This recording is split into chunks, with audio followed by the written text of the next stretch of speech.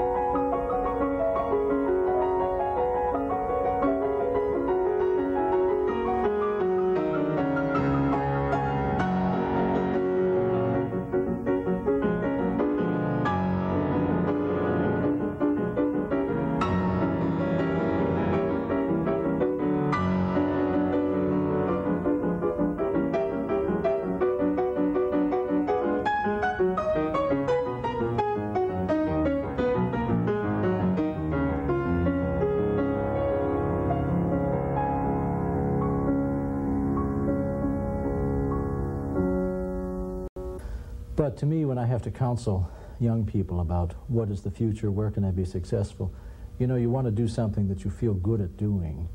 And um, after you've done that, you want to feel like, yes, I've accomplished that, and I feel like this is something I'm positively doing well. When you have that feeling, it doesn't happen all the time, of course, but when you have that feeling, then you know you're being successful at the, at the thing you're doing. And um, in the training of young musicians, I try to help develop within them what that success means. Um, so a student might come in with a piece they've prepared and play it roughly like this.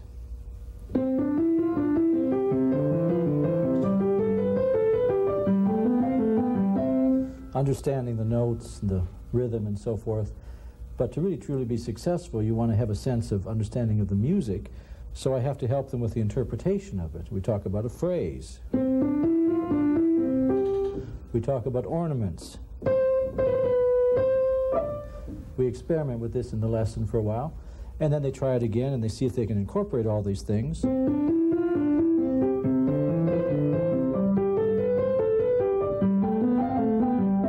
And then it's like a good argument or a good conversation. The student begins to feel successful about the interpretation of the phrase and the ornamentation, and this, over a period of time, develops, develops a sense of uh, success. Now turn to the fugue. Turn to the fugue. This is a three-voice fugue. Now I realize you've just started to look at the piece, but can you identify the three voices for me? Can you play, for instance, what, what voice starts it? Okay, that's the alto, isn't it? Okay? Can you play just the alto part for me, just the way exactly you'd like to play it?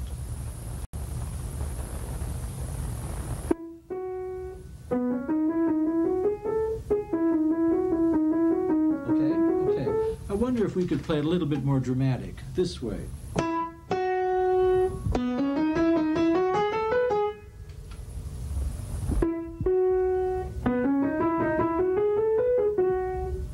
Okay.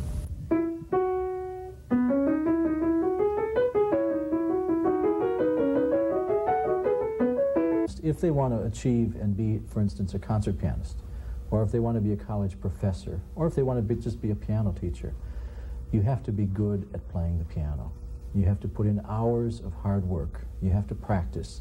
You have to be self-centered. You don't study the piano as a group therapy session. You prepare all on your own. It's a little bit lonesome. You put in long hours late at night. Uh, you travel long, uh, long distances to compete in competition. Um, you're in competition with all of your peers all the time.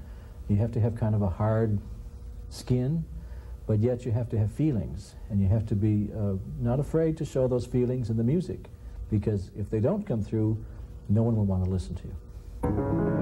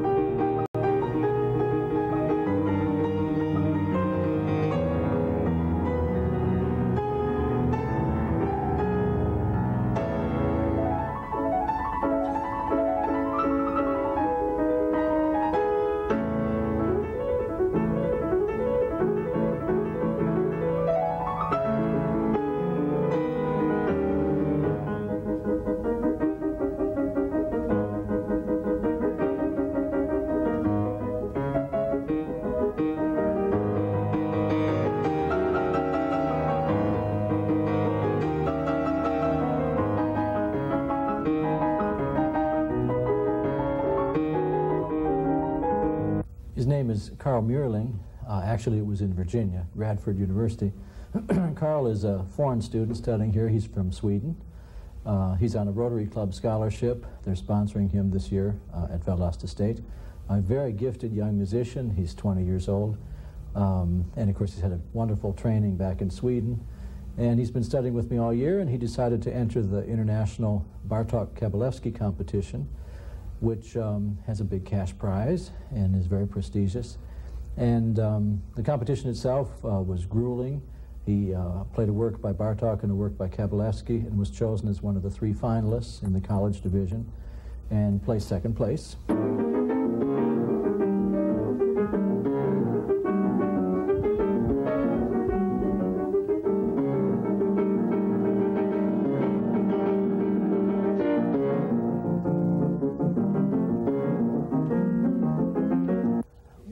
Problems with the Moonlight Sonata is that Beethoven says in the score, it should, I won't read it in Italian, but in English it means the whole piece should be very, very soft, and it should be played with the pedal depressed throughout the piece.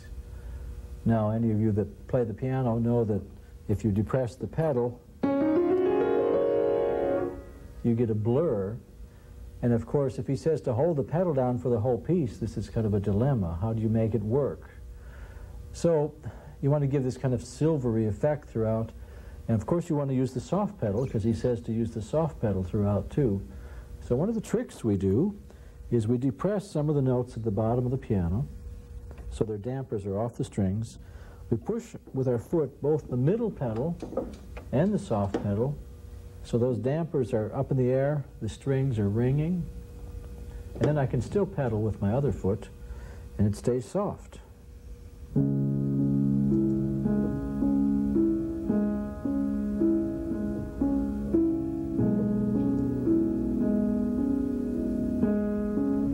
And it gives the effect that Beethoven had in mind. You see, Beethoven's piano, when you push the soft pedal, the hammer only hit one string. On the modern piano, there are three strings per note. And the modern pedal, the hammer hits two of those strings, not just one. So our modern piano doesn't get as soft as Beethoven's. So anyway, it's a real dilemma to try to make the Moonlight Sonata sound as soft and as pedaled as Beethoven intends. But I try to do that through that little gimmick that I just showed you. I learned that years ago from Rudolf Serkin, the famous Beethoven expert.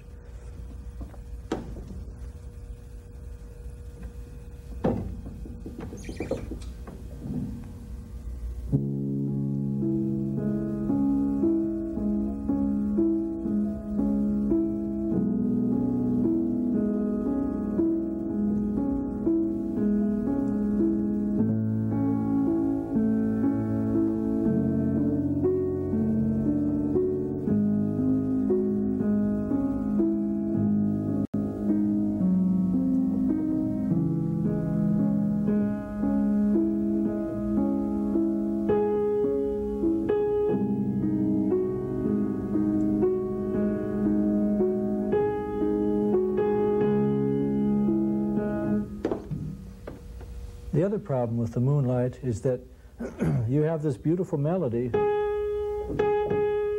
which goes nowhere, just sits there, and all this stuff, which appears to be important, but of course is just biding time, and you really want to hear the beautiful melody, so we pianists have this problem, we call it voicing.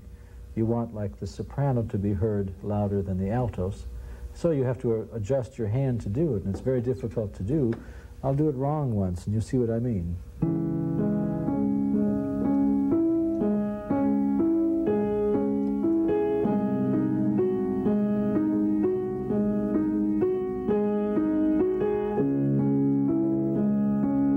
See, the altos are much too loud. So what I have to do is adjust my fingers and strike the top note a little harder. And it's not so easy, but I'll see if I can do it.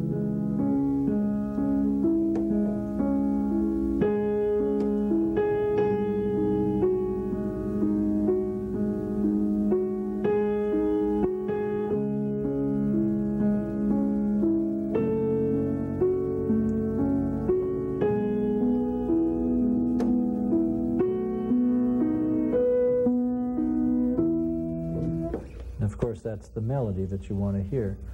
So even though the Moonlight Sonata sounds very simple, it should sound simple, but it's very complicated to put all that stuff together and keep it all very soft and hold your foot down the pedal, like Beethoven says. It's a really uh, a dilemma of a piece to play.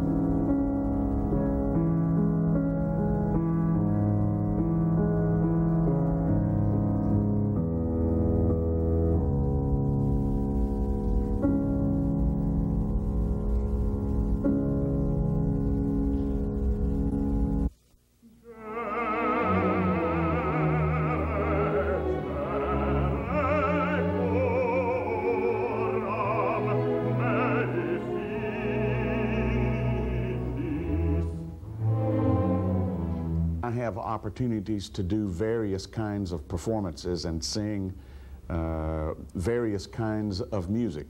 For instance, this May I will have the uh, privilege and the opportunity to uh, premiere uh, a work by a Polish composer, uh, Szymanowski.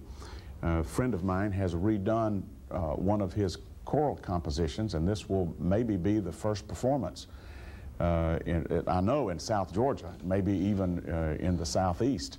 That's a, that's a rare opportunity to be able to do something like that. Plus, I get to do other, other performances for uh, you know, various numbers and kinds of individuals. Uh, so I enjoy, I enjoy that aspect of being a performer, being able to sing different styles, different kinds of music, different levels of music for different levels of people.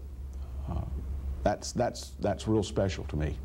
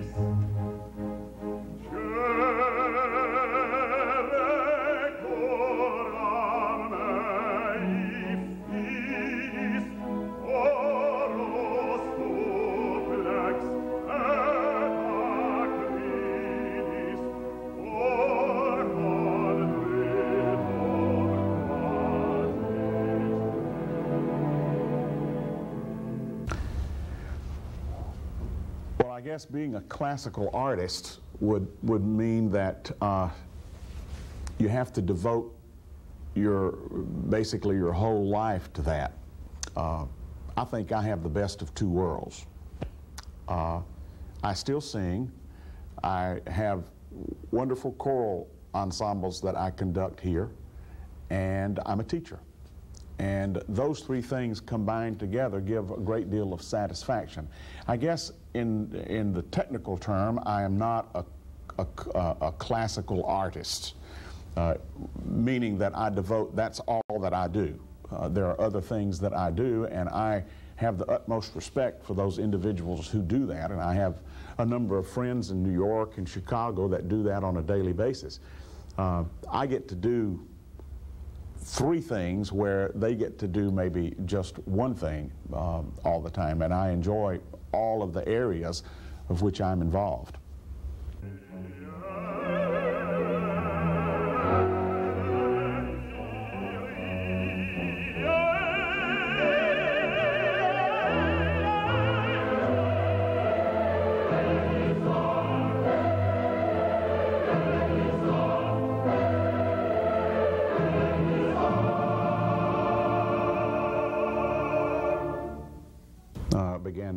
Studying piano when I was five and carried that on through elementary school and high school, uh, adding uh, organ my senior year. I played in the band and uh, was exposed to a, a, lot of different kinds of music and then on into college.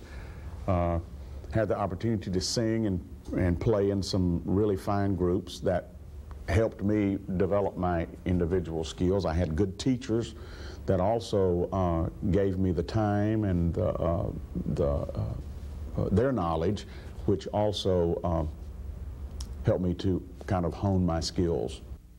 Mors stupebit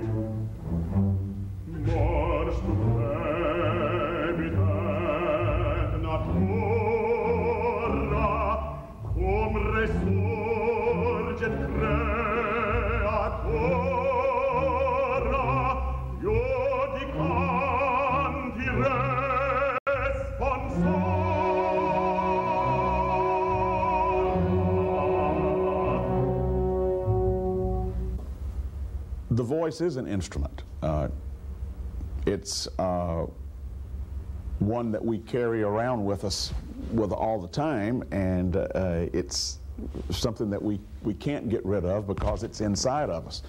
Uh, when we get sick, our instrument doesn't perform very well. Whereas maybe a pianist, if he was ill, he could go ahead and, and play. But if we have something that's wrong with the, with the throat, with the cords, then we don't perform very well. So as singers, we have to learn how to uh, take care of ourselves and keep ourselves in decent shape so that uh, once we need the voice that we can call on it and it and it responds when when we need it.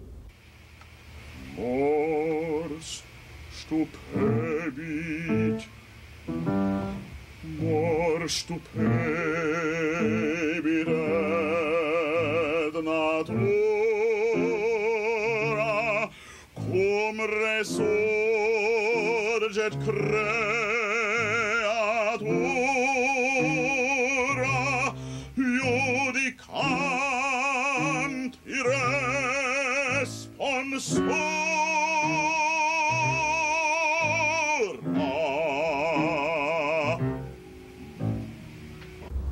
guess in many instances you would you would define success on uh, whether or not you make it to the Metropolitan Opera, or uh, whether or not you uh, uh, get a receive a doctorate in vocal performance from some major university. Uh, I guess I guess it's all relative.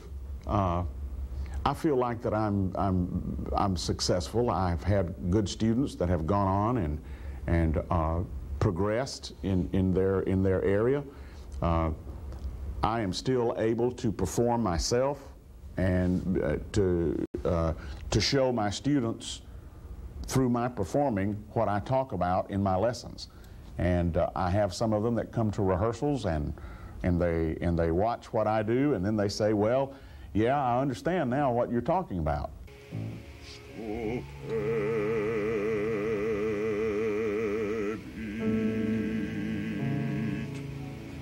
For some reason, I think that wasn't the right pitch. Come down, start this one. Mors, mors, mors, stupid. I guess that was right. I guess the silence just takes away. Do this one one more time. Okay. Mors.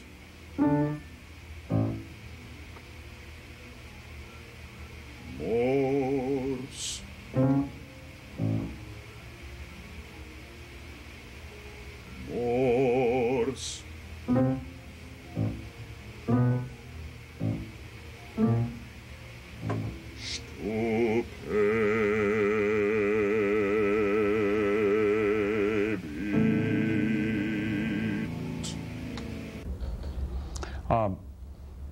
I can I can think of a student that I have in my studio now who came in this year as a freshman. Uh, he did come during his senior year in high school and studied with me once a week for a 30-minute lesson. And I think when he, he, when he first came, of course, it was it's a natural voice. It's just a it's, it's just a voice that he just has, and uh, it's a marvelous, beautiful, free instrument. And what we do now, as he is beginning to mature and uh, beginning to understand more about his instrument, is that we are tr trying to identify problems that he might have vocally, which, it may be breath, it may be vowel structure, it may be uh, uh, uh some other things that that he might have that we need to uh, uh, make some corrective uh, uh, exercises. And that's what we do. We start with the exercises to try to improve his ability to sing fast scales or to sing higher notes. And we, we try then to develop those exercises into the literature so that there is some kind of crossover between the exercises and and singing the literature. It's just like a football player. I mean, they go and uh, to their practice times in the afternoon, and they run these various plays, and they know exactly where they're supposed to be at what point.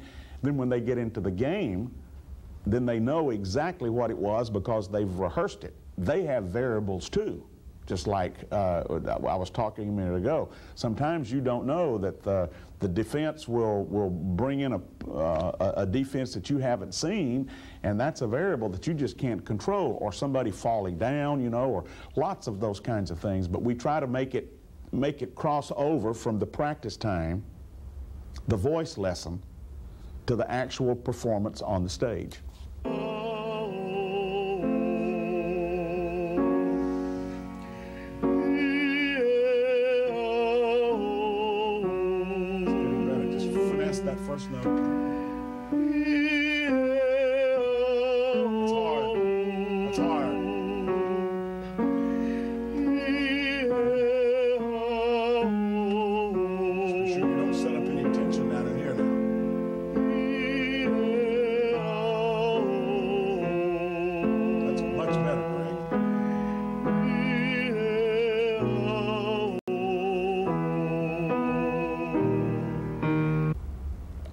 Guess I get the most satisfaction from being a teacher by seeing my students excel at their own, at their own pace, uh, seeing them understand things that I talk about, being able to uh, distinguish good and bad, being able to be uh, more ob objective about their singing, about their performance, uh, and then seeing those students leave Valdosta State and go out on their own and be successful teachers or performers or both.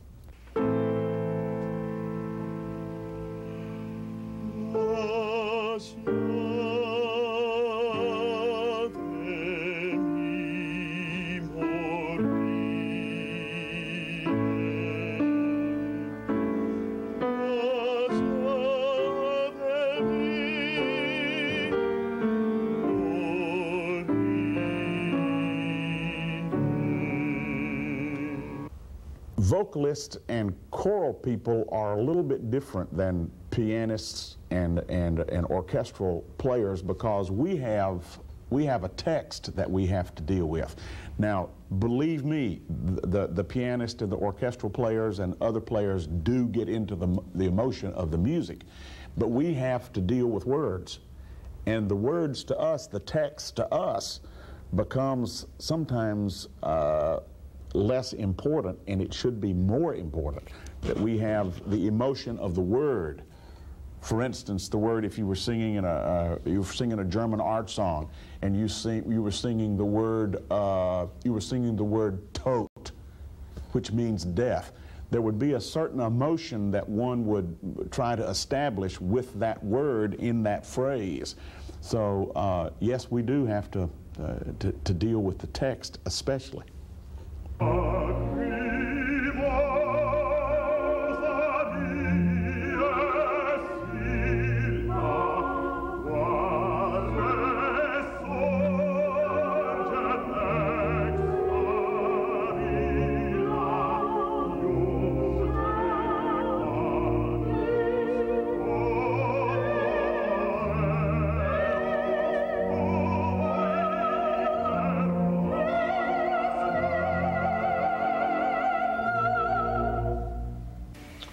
think one of the most uh, significant things of the Verdi Requiem is that it's uh, it's so operatic and uh, and gives a lot of um, a lot of attention to the um, to the chorus, not only to the to the soloist but to the chorus. And one of the most one of the most wonderful places in the uh, in the Requiem is the the Dies Irae, day of wrath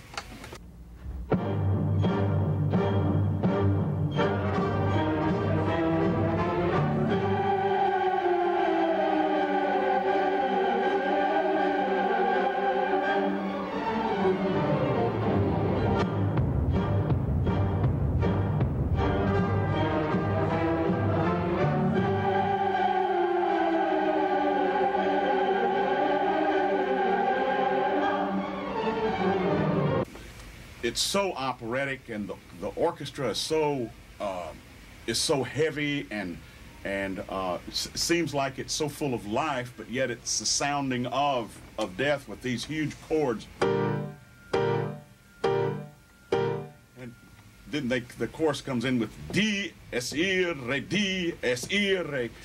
It goes on for with, with the sopranos and everybody singing.